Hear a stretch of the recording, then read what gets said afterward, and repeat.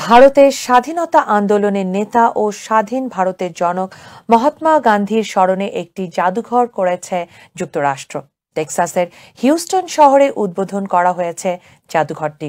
উদ্বোধনী অনুষ্ঠানে উপস্থিত ছিলেন মহাত্মা গান্ধীর নাতি ডক্টর রাজমোহন গান্ধী ও যুক্তরাষ্ট্রের বর্ণবাদ বিরোধী আন্দোলনের অগ্রপুরুষ মার্টিন লুথার কিং জুনিয়রের ভাগ্নে ইসাক নিউটন ফ্যারিস জুনিয়র, ভারতীয় দূতাবাস ও যুক্তরাষ্ট্রের সরকারি কর্মকর্তারা। মহাত্মা গান্ধীর এই জাদুঘরটির নাম রাখা হয়েছে দ্য এটার্নাল গান্ধী মিউজিয়াম বা চিরন্তন গান্ধী জাদুঘর। কেবল গান্ধীকে উৎসর্গ করে এই প্রথম একটি পুরো দস্তুর জাদুঘর নির্মিত হল আমেরিকায়। তেরো হাজার বর্গফুট জমির উপর নির্মিত এই জাদুঘর ভবনটির নকশা করা হয়েছে ভারতের জাতীয় পতাকায় বিদ্যমান অশোক চক্রের থিম অনুসারে।